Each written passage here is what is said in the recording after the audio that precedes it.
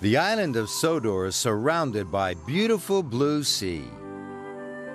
It has fields of green and sandy yellow beaches.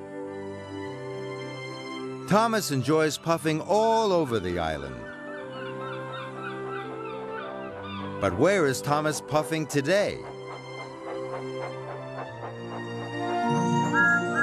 Thomas is puffing high into the hills of Sodor. Hello, Thomas. Hello, everyone. Welcome to the Narrow Gauge Railway.